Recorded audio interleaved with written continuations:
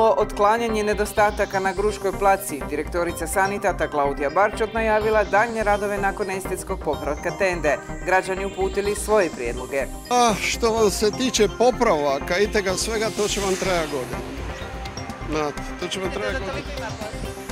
Ne, nema posla, nego jednostavno po meni to nije učinjeno u detalje kako toka. Izmjenama i dopunama zakona o sestrinstvu želi se proširiti kompetencija prvostupnica i prvostupnika sestrinstva koji imaju specijalizaciju iz djelatnosti hitne medicine.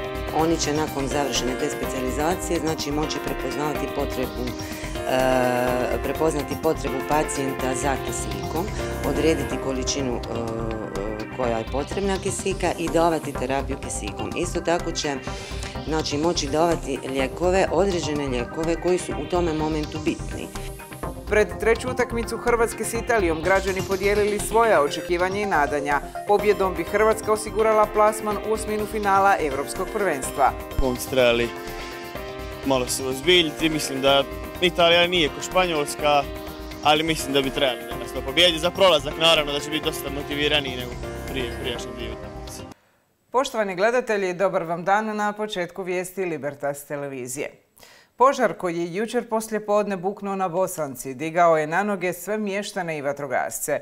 U pomoć su uskočili i kanaderi, a predsjednik mjesnog odbora Bosanka Velibor Puzović i županijski vatrogasni zapovjednik Stjepan Simović opisuju kako je požarna situacija izgledala iz perspektive mještana, odnosno vatrogasaca.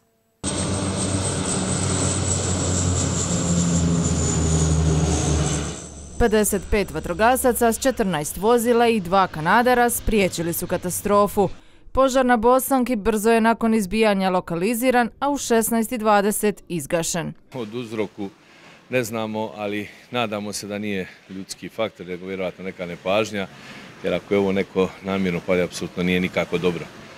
Jer je to bila intervencija jako složena, naseljeno mjesto Bosanka, u 14.40 je požar nastao, dobile su dvoje vatrogasci Dubrovačke, odmah su izišli na teren. Požar se jako brzo širio prema, prema naselju, velika dim je bio, tako da je stvorio određene, ajmo reći malo i panike na Bosanci, opravdano, jer kad se pojavi dim među kućama, ljudi koji nisu naučili na to malo možda i panično reagiraju, ali Bogu hvala smireno je sve bilo na kraju. Panici je svjedočio i predsjednik mjesnog odbora Velibor Puzović, koji je zajedno s mještanima pomagao u obrani naselja i kuća.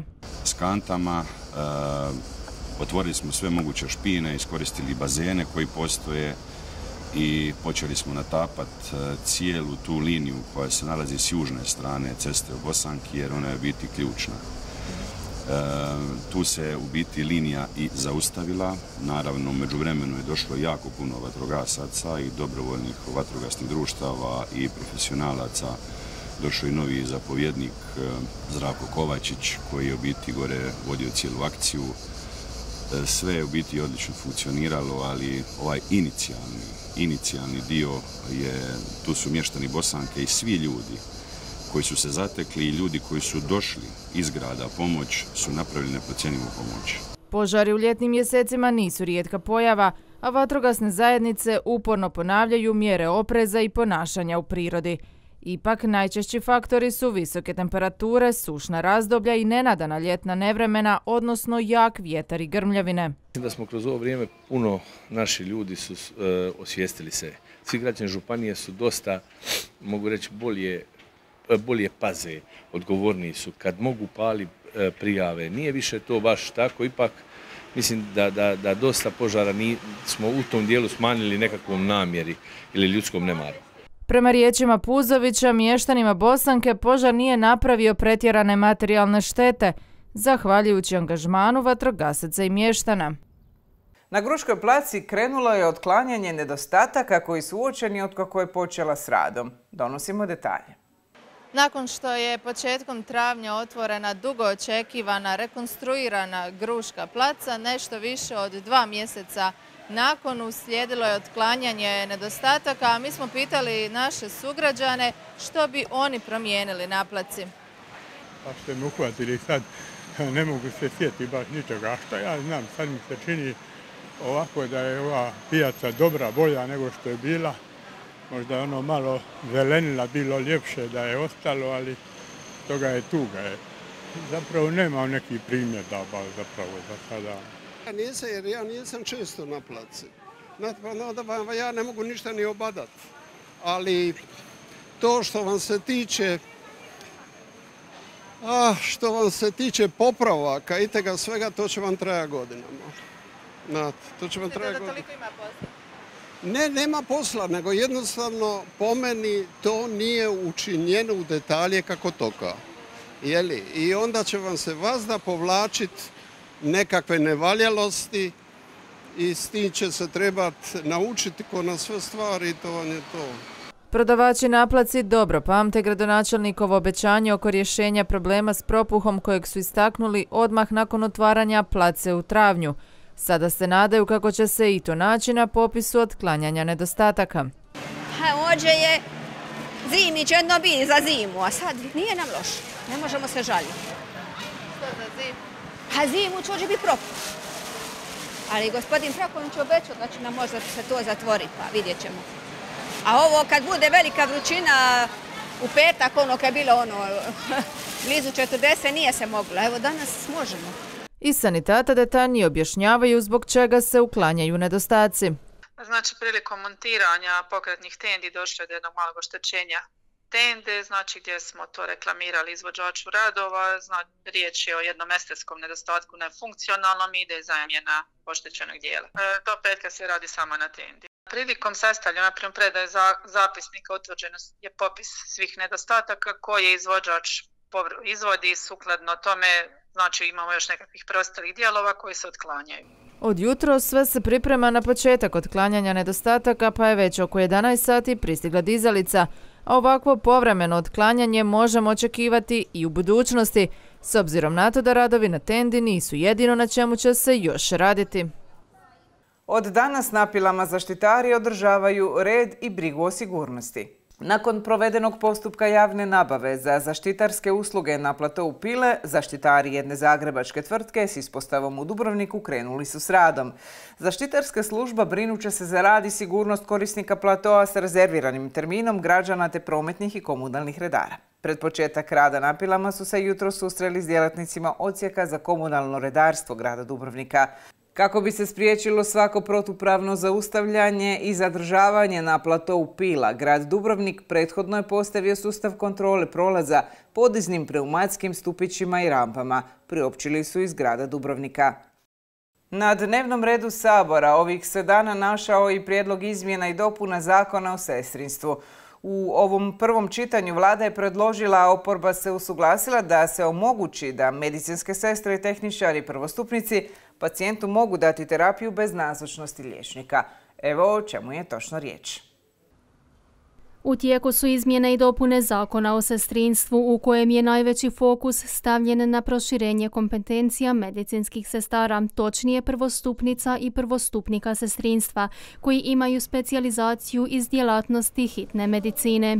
Nakon odrađene te specijalizacije koja će trajati godinu dana, medicinske sestre i tehničari E, specijalisti iz djelatnosti hitne medicine e, moći će davati jedan dio lijekova, znači e, njima će se u stvari širiti kompetencije.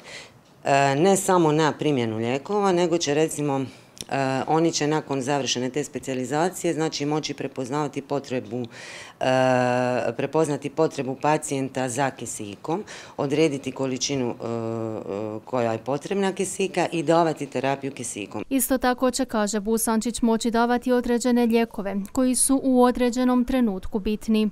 Znači, kod recimo zastoja srca, kod reanimacije, kod tog takozvanog naprednog, e, ovaj, e, naprednog oživljavanja, kod nekih srčanih ritmova, ali to je sve u skladu sa smjernicama za to određeno područje. Znači, nije sad da će sestre moći e, ordinirati i davati terapiju e, kao što to rade liječnici, znači samo isključivo u određenim, e, određenim momentima sa određenim kompetencijama koje će oni steći sa tom specijalizacijom. Kako bi medicinska sestra mogla započeti sa specijalizacijom iz djelatnosti hitne medicine, mora imati određene preduvjete. Minimalno znači može biti prvostupnica sestrinstva, odnosno prvostupnik sestrinstva i mora imati određeni određeni broj godina rada u djelatnosti hitne medicine. Znači što se tiče odjelnih sestara, na njih se to ne na sestre na odjelima ne, odnosi se na, eh, za sad u početku na hitnu medicinsku pomoć, znači eh, djelatnike iz hitne medicinske pomoći i objedinjenog hitnog bolničkog prijema. Oni će nešto kasnije, za sad, za sad će se krenuti samo sa hitnom medicinom. Praksa ovakvog tipa usavršavanja krenula je u Osijeku. Što se tiče Dubrovačko-Neretvanske županije, sve je još u fazi priprema, ističe Busančić. Do kraja godine nisam baš sigurna, mislim, točne, točne datume me baš još i ne znamo, ali najvažnije je da je to krenulo, da se krenula, prva grupa je krenula e, gore u, u, Slavoniji, krenut će Zagreb, krenut će Rijeka, krenut će Split, krenut i mi, jer mi smo se isto prijavili kao, ovaj, referentni centar za naše sveučilište se prijavilo za da može se edukacije, dio edukacije odraditi ovdje. Znači da naši djelatnici ne moraju ići za Split, nego će moći sve odraditi ovdje. Svrha najavljenih promjena je veća dostupnost zdravstvene zaštite kao i unaprijeđenje položaja ove kategorije medicinskog osoblja. Uoči večerašnje utakmice posljednje kola grupne faze Hrvatska igra protiv Italije. Pobjeda bi Hrvatskoj donijela plasman u osminu finala natjecanja, a sugrađani se nadaju kako će tako i biti. Nogometnu euforiju turistička zajednica grada Dubrovnika odlučila je iskoristiti za kampanju na društvenim mrežama Facebook i Instagram. Riječ je o kampanji u kojoj se putem videa i fotografija sa raznim sloganima promovira Dubrovnik, a objave pri oglašavanju prve utakmice Hrvatska-Španjolska vidjelo je preko 100 tisuća ljudi koji su se tada nalazili na samom stadionu ili u fan zoni. Pred utakmicu građani su komentirali prethodne dvije utakmice i otkrili svoje očekivanja za večerašnju utakmicu. Pa očekujemo pobjedu i napokon buđenje naše reprezentacije i da napokon pokažu kvalitetu koju sigurno posjeduju. Koji rezultat e, možda ili priželjkujete ili mislite da će biti?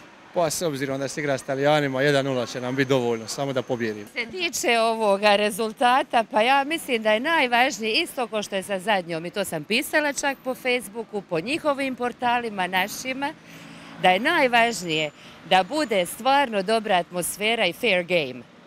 Da je to najvažnije, da je to svim timovima i navijačima i svima, jer inače ne nastane tako dobra atmosfera. A Bože moj, svi se sportaši spremaju cijelu godinu ili četiri godine na ovo prvenstvo, nek pobjedi bolji. Malo se ozbiljiti, mislim da Italija nije ko Španjolska, ali mislim da bi trebali danas to pobjedi. Za prolazak naravno da će biti dosta motiviraniji nego prije prijašnje dvije utakmice. Pa rekao bi možda 2-1 danas. Ja vjerujem da će jedna razlika biti za nas. Biće teško, Italijani su nam tvrdo igraju, ali mislim da ćemo i dobiti jedan razlike i da ćemo ostati i dalje tamo.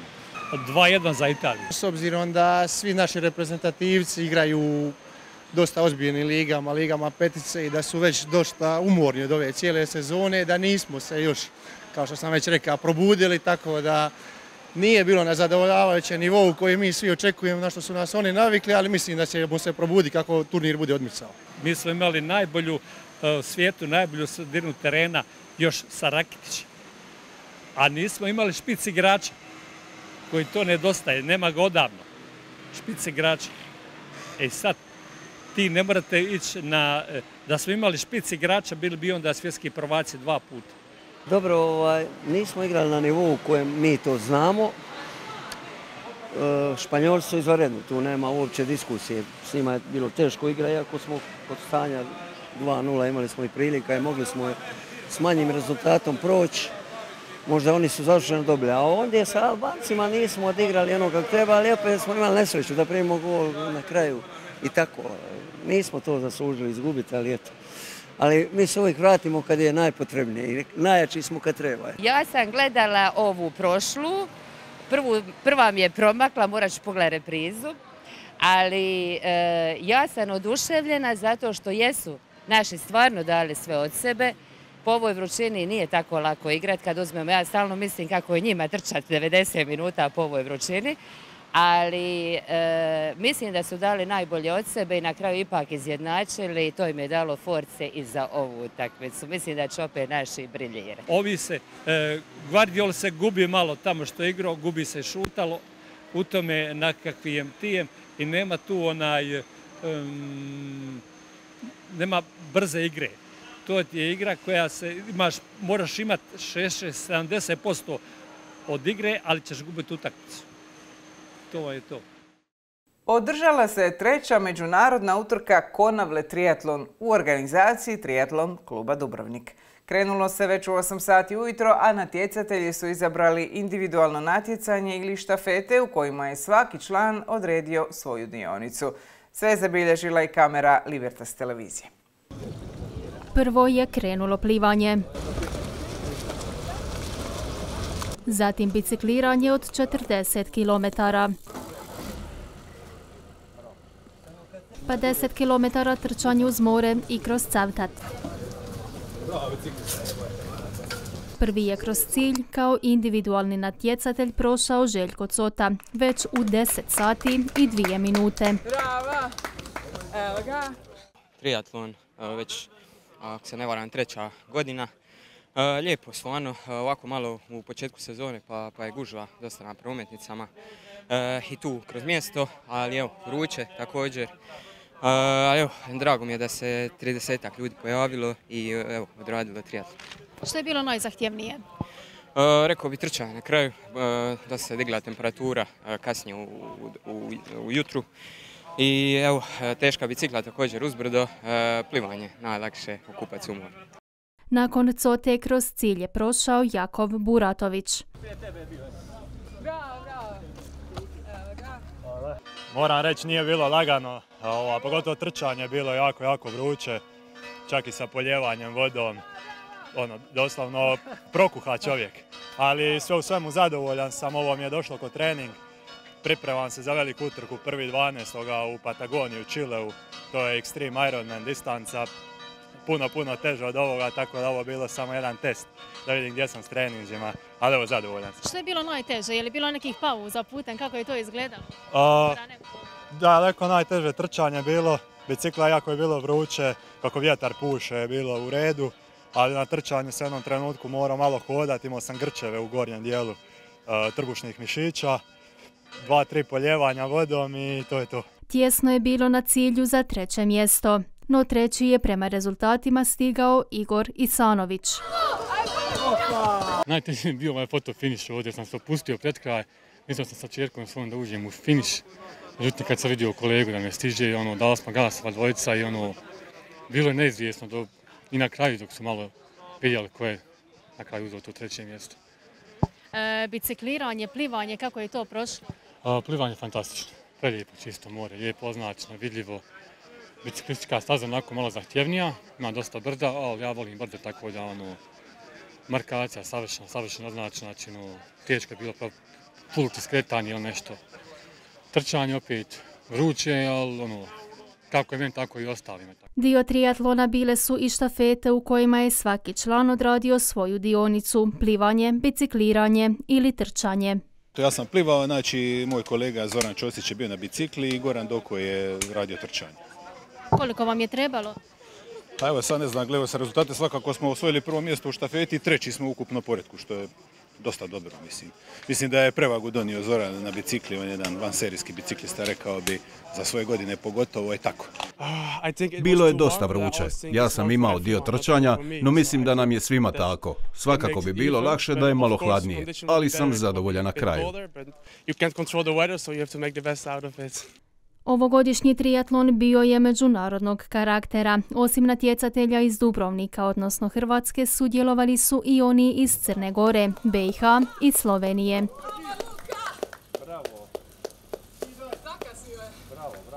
A u parku Striježice u Mlinima ovog vikenda održao se tradicionalni glazbeni festival Puntižela, popularni župstok. Brojnu publiku između ostalih zabavljali su Goran Bare i Majke.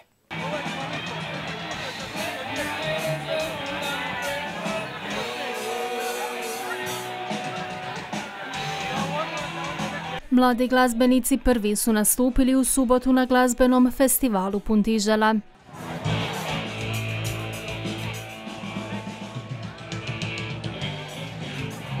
Okupili su se brojni posjetitelji koji na Puntiželu dolaze već godinama. Svake godine od 96.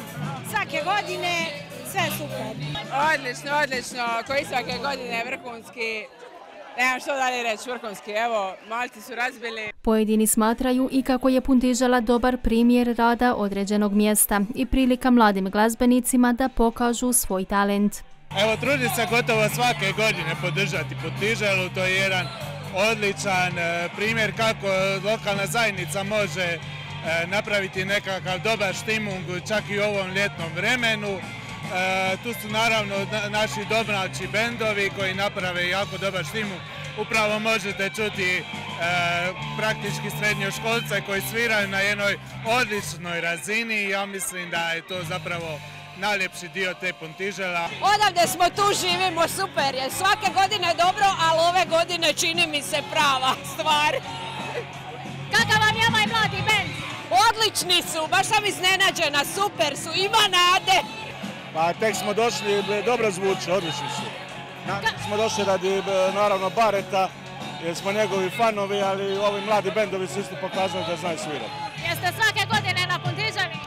Jesmo jer smo tu. Zvončica je moja supruga, tako da ovaj, doćemo svaku, svaku smo tu. Kako to obično bude, Puntižela je započela još u popodnevnim satima s nastupom mlađih bendova.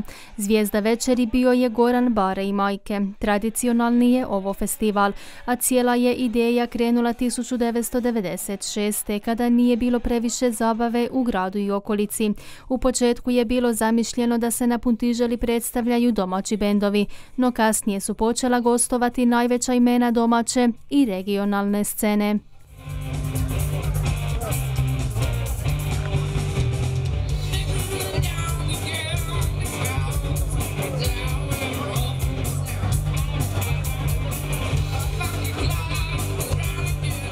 Servisne informacije, kao i svakog dana, donosimo u rubrici Libertas Info.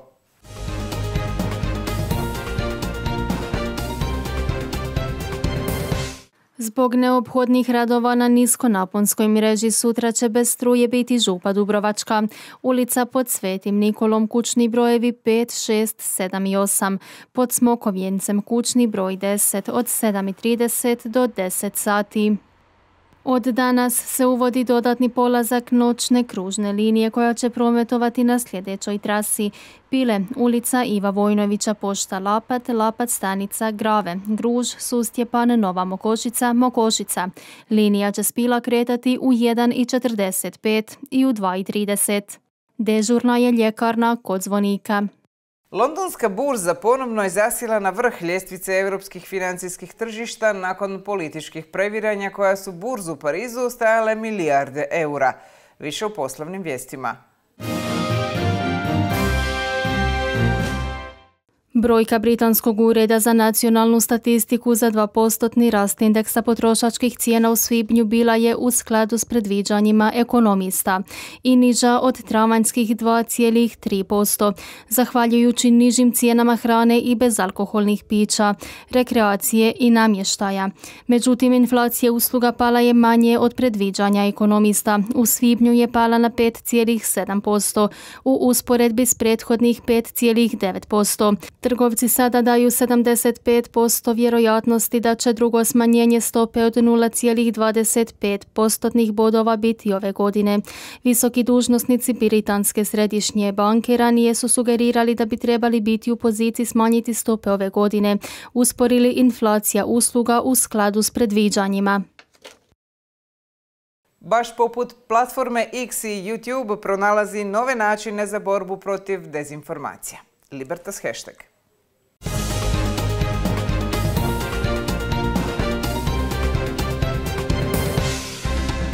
YouTubeova borba protiv dezinformacija se nastavlja ovaj put posuđivanjem ideje s platforme X. X od prošle godine ima aktivan program Community Notes koji omogućava svim korisnicima napisati bilješku ispod neke objave, a dobije li ona dovoljno glasova kao korisna, počinje se prikazivati svim posjetiteljima. Tako se ispod objava može dodati kontekst napomena o tome da je sadržaj lažiran, generiran umjetnom inteligencijom, zavaravajući da je riječ o parodiji i slično. Od sada će i YouTube omogućiti takvo pisanje bilježke bilješki u programu koji nazivaju Notes. Eksperimentalni dodatak platformi započeo s testiranjem u SAD-u i na engleskom jeziku, a svrha mu je ista kao na X-u, davanje dodatnog konteksta sadržajima.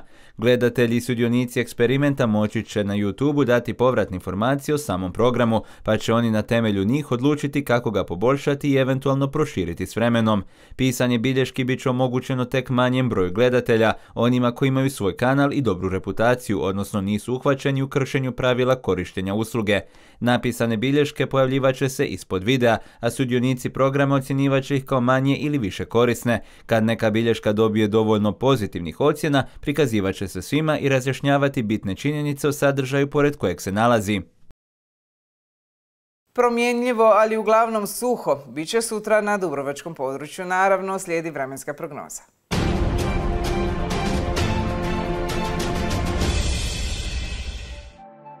Sunčano te je vrlo toplo i vruće, puše većinom umjeren sjeverozapadnjak i jugozapadnjak. Najviša temperatura zraka uglavnom između 25 i 34 Celzijeva stupnja. Gruda, Cavtat, Lapad i Gorica imali su 29, Župa Dubrovačka 30, Gruž i Mokošica 31 Celzijev stupanj. Na Mljetu je izmjereno 27, Lastovo je imalo 28, Trsteno i Kočula 29, Ston 32, Ploče 33, a Metković 34 Celzijeva stupnja. Sutra promjenjivo na krajnjem jugu uglavnom suho, na Jadranu će puhati umjerena bura pa sjeverozapadnjak. Najviša dnevna temperatura zraka uglavnom od 23 do 30 Celzijevih stupnjeva. Biometeorološke prilike nisu u potpunosti povoljne. Boravak na otvorenom u stabilnim dijelovima dana može mnogima biti poticajan, ali je potrebna zaštita kože i očiju od štetnog UV zračenja.